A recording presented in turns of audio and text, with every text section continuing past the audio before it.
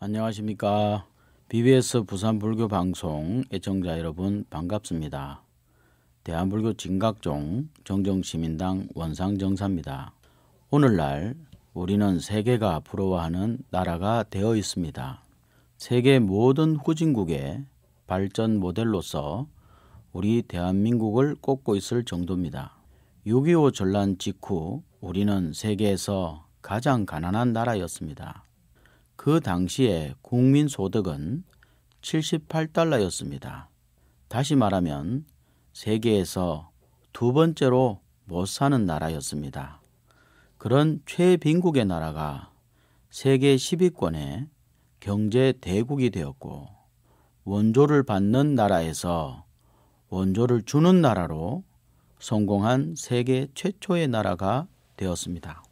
그 바탕에는 여러 훌륭한 지도자들이 사회 각계에 있었기 때문이 아닌가 생각합니다.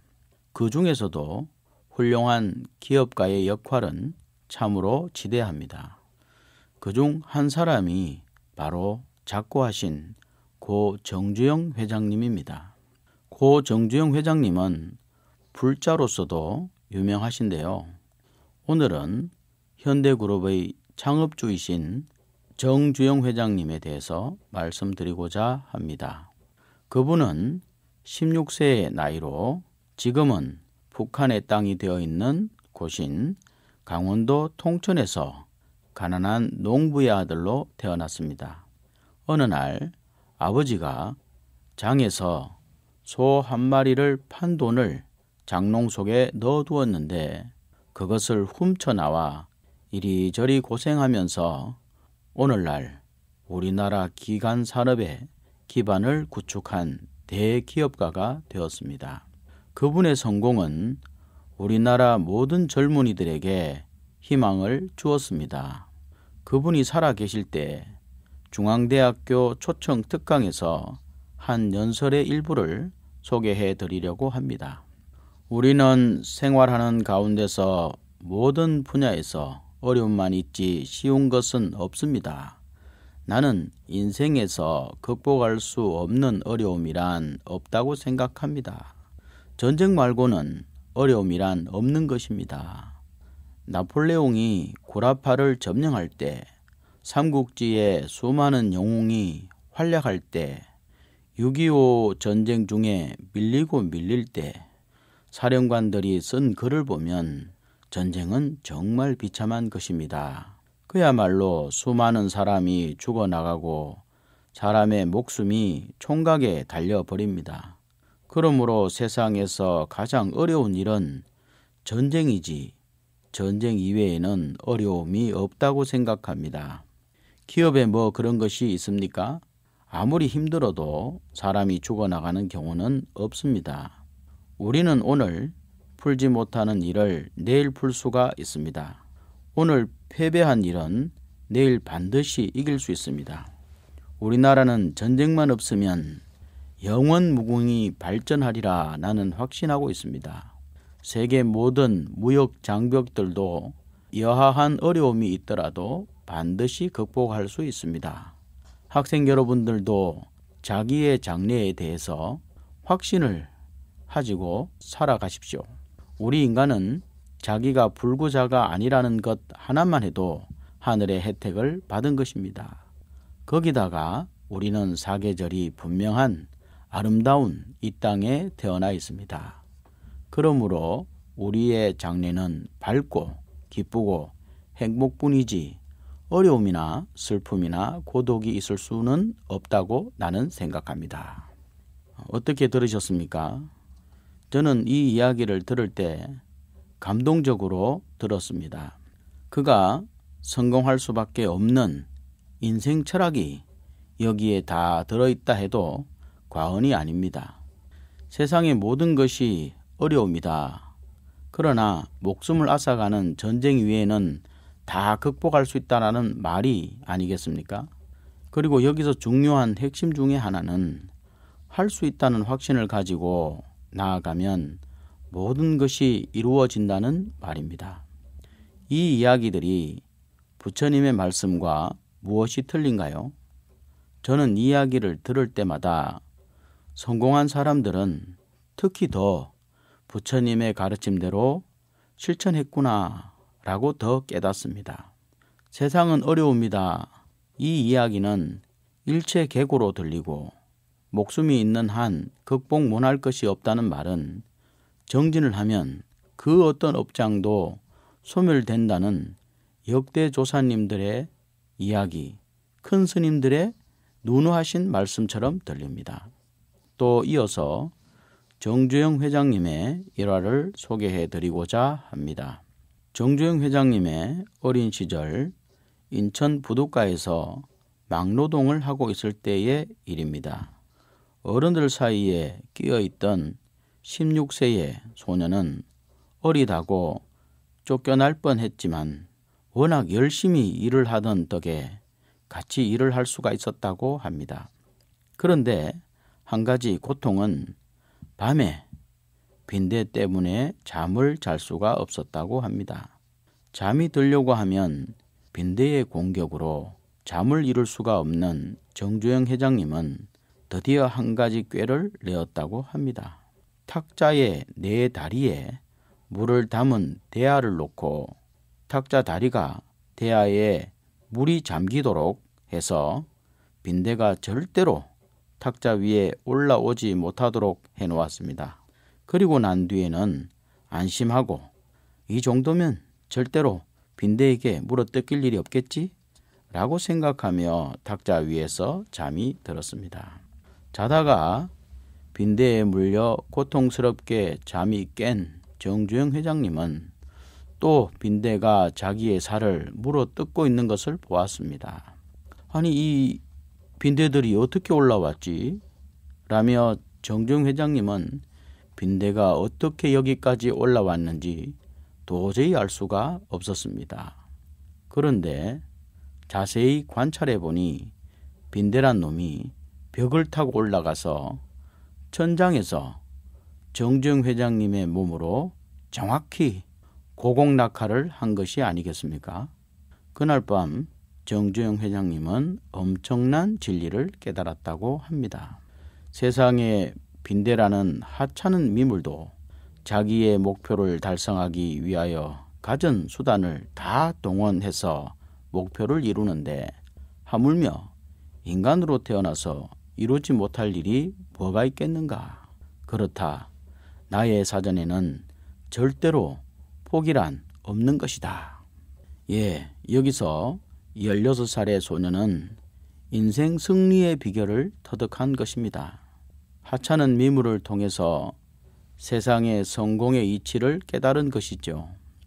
어떻게 보면 그 빈대가 정주영 회장님의 삶의 방향을 바꾸어 준 스승이라 하겠습니다. 어떤 상황에서도 포기란 없는 것이다. 그날 이후 이 소년이었던 정주영 회장님이 이룩하신 업적은 실로 위대합니다. 대규모 토목 건설 사업, 자동차 사업, 조선 사업 등등 정중 회장님은 우리나라의 중공업의 토대를 이룩한 훌륭한 기업가입니다. 그는 부하 직원들이 나태하고 무기력할 때마다 항상 이 빈대만도 못한 놈아 라고 질척했다고 합니다. 진각종을 세우신 회당 대종사께서는 산밀은 전인적인 수행이라는 말씀에서 이런 말씀을 하셨습니다.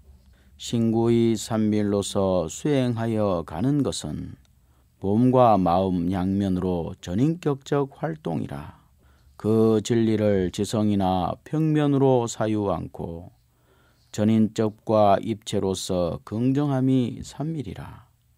그러므로 삼밀행은 행자 자기 확립이라 사상으로 모든 진리 사유하게 되는 것은 다만 이해할 뿐이요 학수에만 그칠지며 그 진리를 오직 나의 생명으로 행위하는 전인적인 재현에는 도달하지 못하리라 라고 되어 있습니다.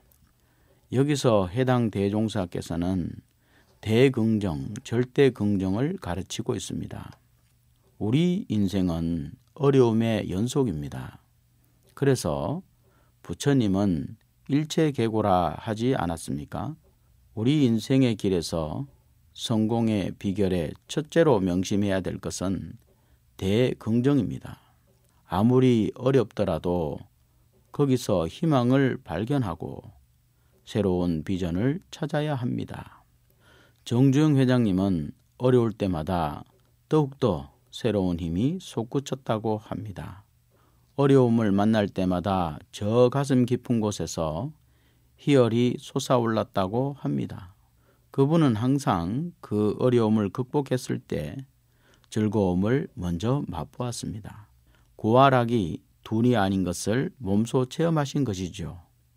또 그분은 평생 새벽에 남보다 먼저 일어났습니다. 정중 회장님의 사직동 사가에는 새벽에 손주까지 모여서 항상 전 가족이 함께 모여 아침 식사를 하였다고 합니다. 아침에 보이지 않는 식구가 있으면 혼을 내었을 정도로 엄격했다고 하는데 그 부지런함이 현대그룹 창업주로 만들었습니다. 이와 같은 새벽 기상은 어렸을 때부터 다져졌다고 합니다. 강원도 통천의 시골에서 태어난 그분은 논과 밭이 멀리 떨어져 있어 새벽 일찍 일어나지 않으면 남들과 같이 농사를 지을 수가 없었다고 합니다. 장남으로서의 책임감이 남보다 투철한 그는 동생들을 돌보아야 한다는 사명감에서 새벽 일찍 일어나는 것이 괴롭지 않았다고 합니다. 또 그의 일화 중 하나는 항상 어려운 일이 있을 때 해결책이 떠오르지 않을 때는 그의 방문을 걸어 잠그고 사경을 했다고 합니다. 내가 문을 열고 나오기 전에는 절대로 이 방문을 두드리지 마라. 또 전화도 바꾸지 마라. 설사 청와대에서 오는 전화라도 바꾸면 안 된다. 예, 그분은 무념무상에서 한 자씩 사경을 써내려갔다고 합니다. 몇 시간이 지난 지도 모를 정도로 산매에 빠져 사경에 집중했다고 합니다. 문제의 해결책을 마련되기 전에는 절대로 나오지 않았다고 합니다. 이렇게 독실한 불자였던 정주영 회장님은 그 바쁜 와중에도 부처님의 진리에서 답을 구하고 그것을 수행으로 삼아 정진 또 정진했던 것입니다. 아산만 물막이 공사 때에 유명한 일화가 있습니다. 물막이 마지막 공사를 하는 중에 어느 정도 뚝을 쌓아놓으면 바닷물이 썰어가 버렸습니다. 몇 번의 실패를 거듭한 후 지친 상태에서 간월도 간월남에 찾아가 부처님께 기도를 드리며 항의했다고 합니다. 부처님, 이럴 수가 있습니까? 제가 아산만을 막아서 농토를 만드는 일은 저 혼자 잘 살려고 하는 일이 아니라 이 나라에 새로운 농토를 만들어 모자라는 식량을 보충해서 온 국민이 배고픔을 면하게 하려고 하는 일인데 이렇게 다 쓸어버리면 어떡합니까? 제발 방법을 가르쳐 주십시오. 하면서 간절히 기도를 드렸다고 합니다. 그러던 중 비몽사몽간에 큰 배가 한 척 지나갔고 거기서 차관에서 정주영 회장님은 외국의 커다란 폐선을 사들여 물막이 공사 마지막 공사를 완성했다고 합니다. 정중 회장님이 이룩한 업적은 모두 무모한 불가능에 가까운 도전이었습니다. 그의 측근에는 아무도 그의 도전이 성공하리라 생각하지 않았다고 합니다. 그러나 정주영 회장님은 해내었습니다. 그분은 또 부하 직원을 닥달하면서 항상 쓰는 말은 해보기나 했어였습니다. 우리는 무슨 일이든지 해보기도 전에 미리 포기하는 수가 많습니다. 그것을 질책한 것입니다.